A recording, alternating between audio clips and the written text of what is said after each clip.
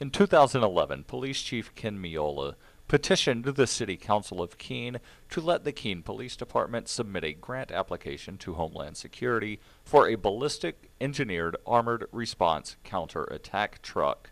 I think you're going to find, when you see uh, what this vehicle looks like, that it's, it's a little militaristic in, in appearance and and perhaps aggressive-looking.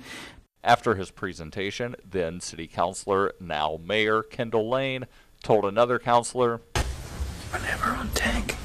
Yeah. The people of Keene spoke overwhelmingly against this tank, yet the council agreed to let the KPD have their new toy. Hi, my name is Darryl W. Perry, and I'm running for mayor of Keene, New Hampshire.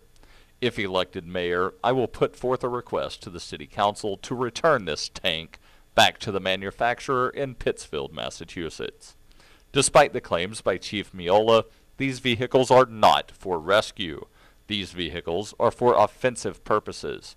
In May 2011, a SWAT team in Pima County, Arizona, using a Bearcat, busted in the front door of Jose Guerena and, within seconds, opened fire, killed him, and found no drugs, despite the allegations that he had them.